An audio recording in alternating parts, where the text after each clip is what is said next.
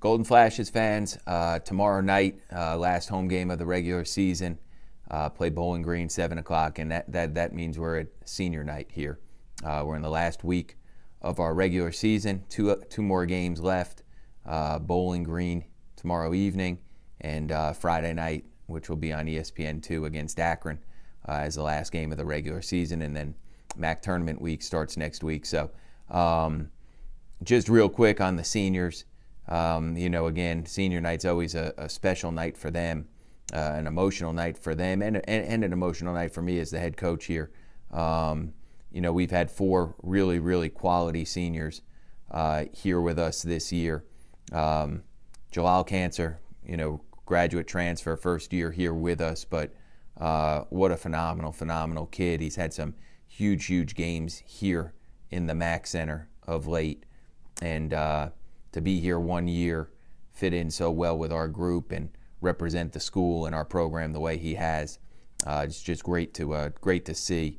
Uh, Xavier Pollard uh, redshirted a year. I really feel badly for X because he was having such a good season when he broke his foot.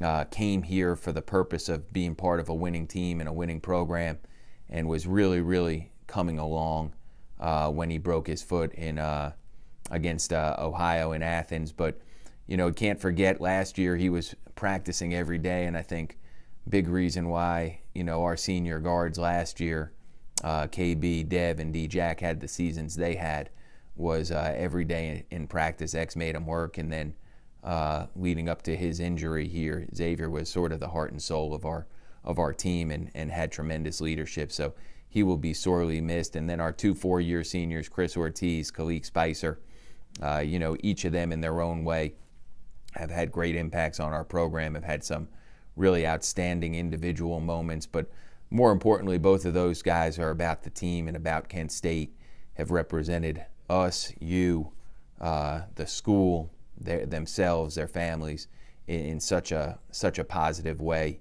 that uh, they, they cer certainly will be missed. And uh, I'm hoping they go out the right way tomorrow night with a win uh, hoping obviously we finish out the regular season with two wins, and uh, and then we're into MAC tournament play, which you know obviously for a senior that's that's uh, you, you know your career's coming to an end shortly, and you're doing everything you can do to keep your season and, and your career alive. But I do think we need to to applaud those four guys um, for their contributions on the court, uh, in the classroom, in the community.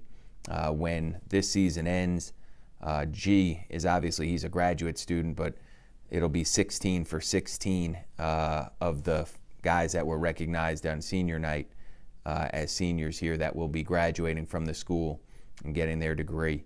And uh, really proud of that, probably more proud of that than anything else. So uh, appreciate, hopefully everybody will be here uh, tomorrow night to cheer us on. I know Akron, everybody will be watching.